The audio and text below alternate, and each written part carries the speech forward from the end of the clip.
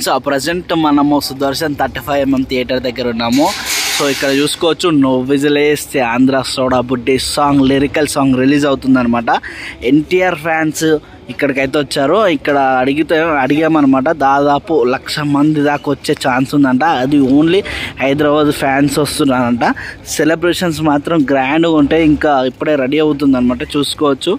అసలు స్టిల్ చూస్తుంటే నాకు తెలిసి రీ రిలీజ్డ్ రికార్డులన్నీ బ్రేక్ చేస్తారనిపిస్తుంది. పవన్ కళ్యాణ్ ఎన్టీ ఆ, పవన్ కళ్యాణ్ మహేష్ బాబు రికార్డులు ఉంటాయి కదా అవన్నీ రికార్డ్ బద్దలు కొట్టే ఛాన్స్ ఉంది అనిపిస్తుంది ఆ రేంజ్లో హైప్ అయితే వచ్చింది.